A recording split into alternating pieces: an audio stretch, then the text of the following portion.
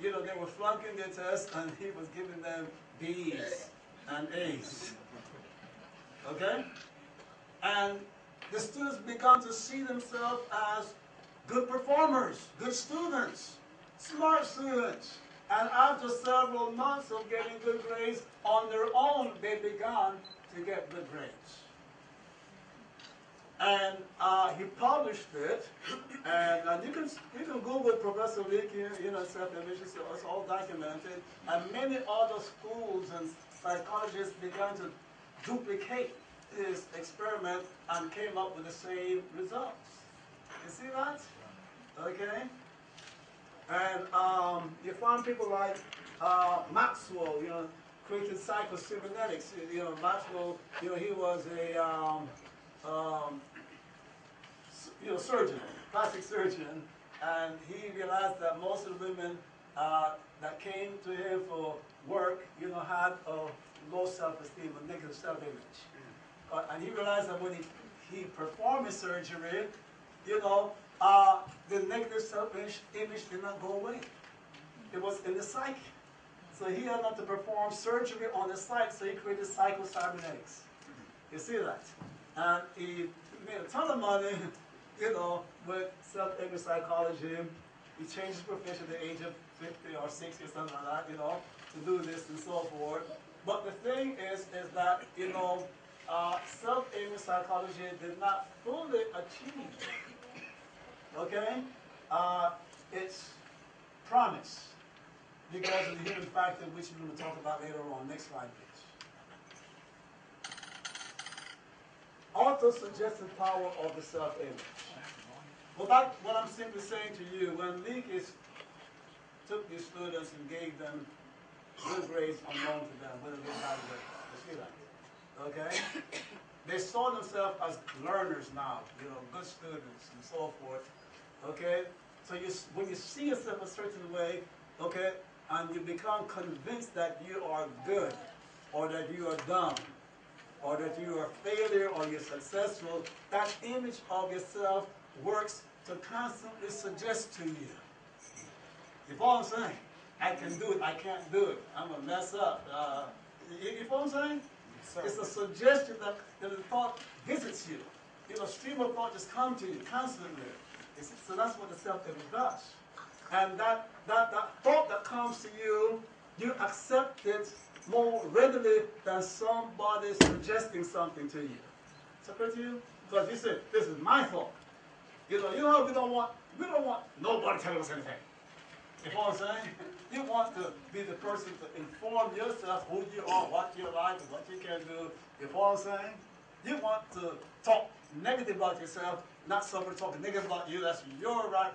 You can do that, right? So that's what we mean by, you know, the auto-suggestion. Very powerful. You see that?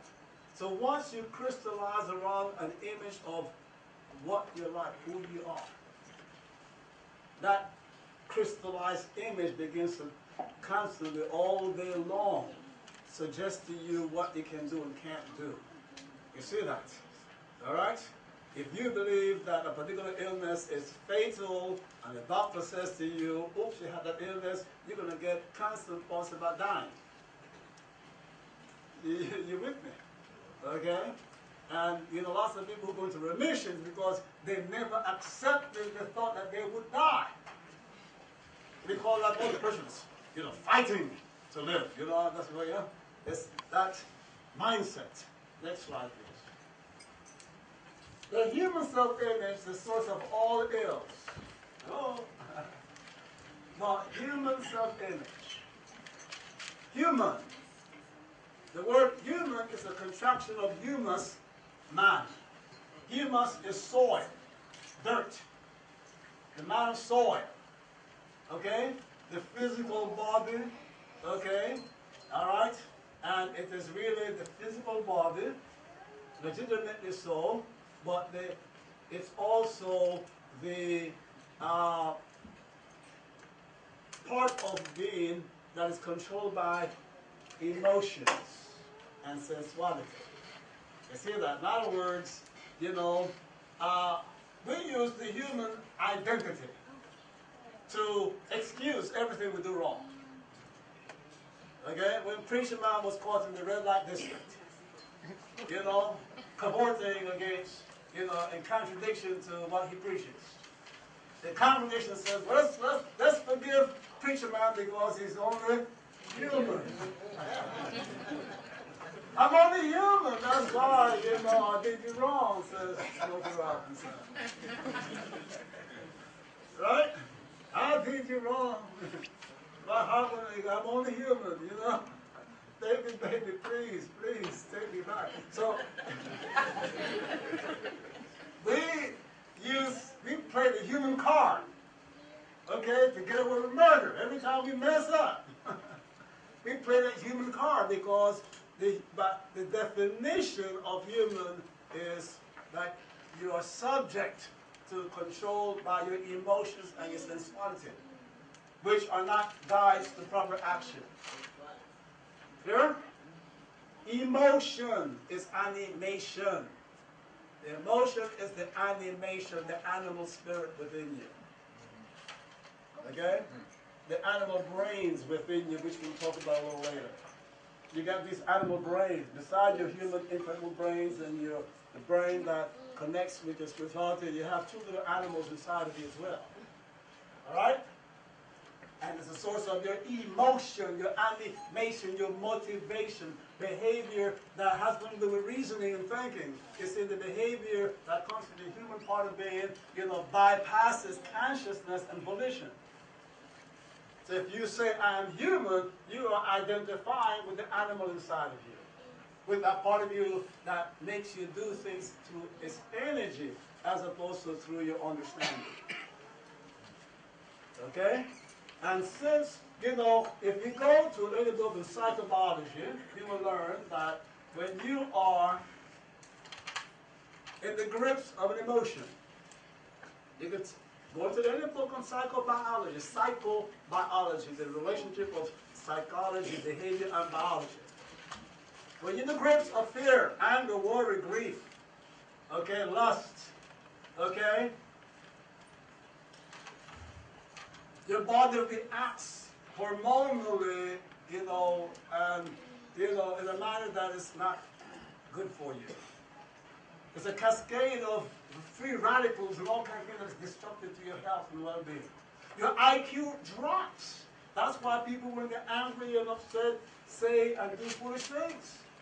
You see that? Okay? The IQ drops and some of us can't afford not one point. Lord oh, have mercy, man. So, if emotion affects your clarity of perception, your reasoning, your health, your IQ, it cannot be natural to you. Nothing that is harmful to you can be natural. Are you clear on that?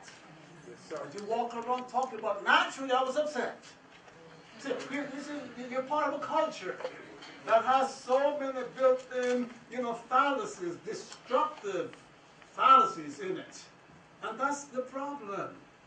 You see, you know, many hypnotherapists, psychotherapists, religious, you know, leaders and so forth, they accept the human self-image. They accept an image for you that you are by nature controlled by your emotions.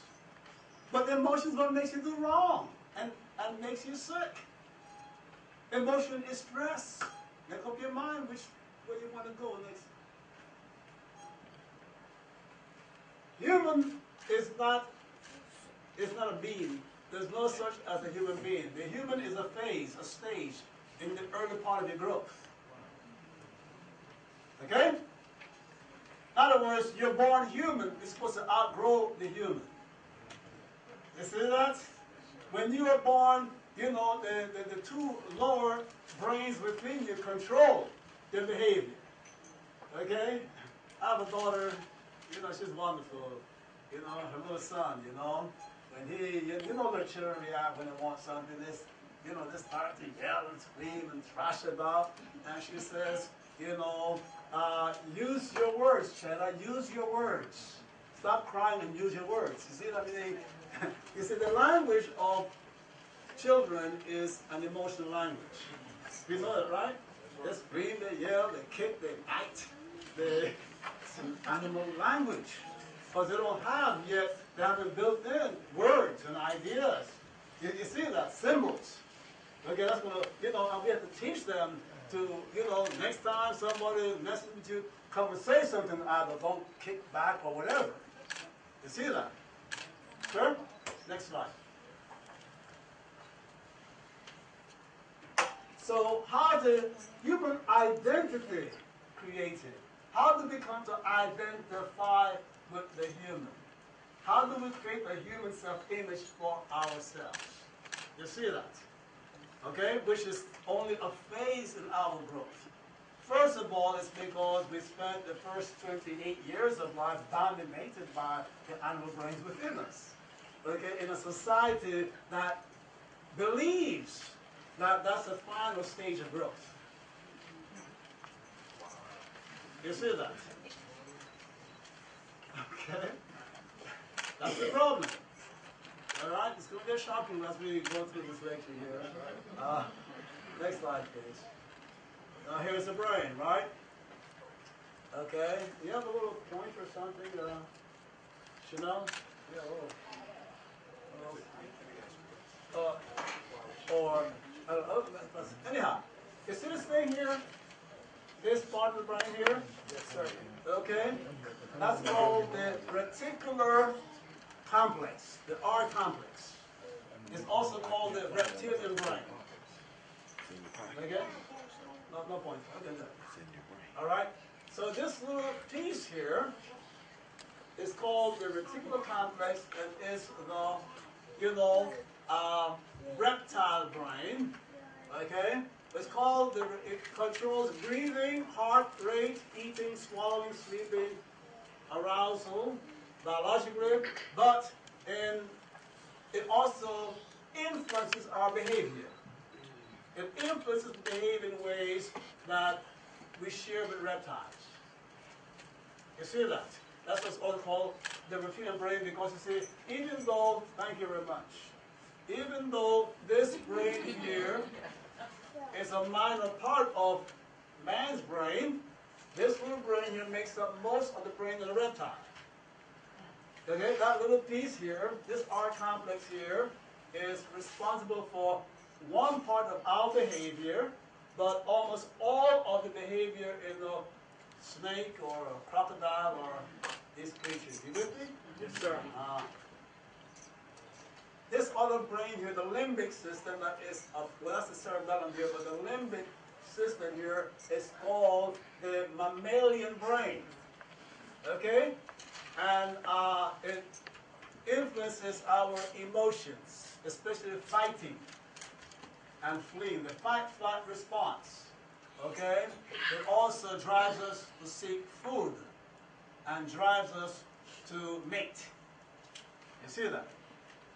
Those four major functions, you know, comes from that limbic system or the midbrain, but it's all called the mammalian brain because this part of the brain in other mammals, dogs, horses, sheep, lions, goats, whatever, right, controls most of their behavior. See that?